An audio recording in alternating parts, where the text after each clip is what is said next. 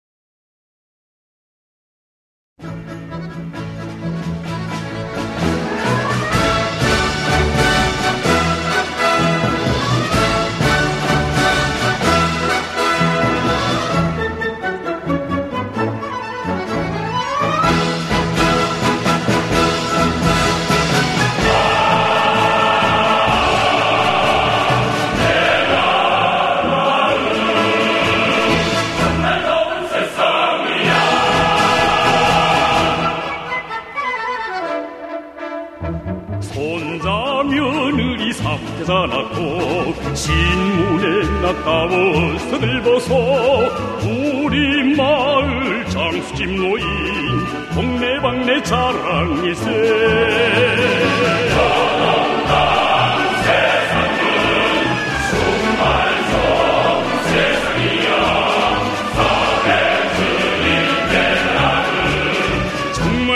세상이야.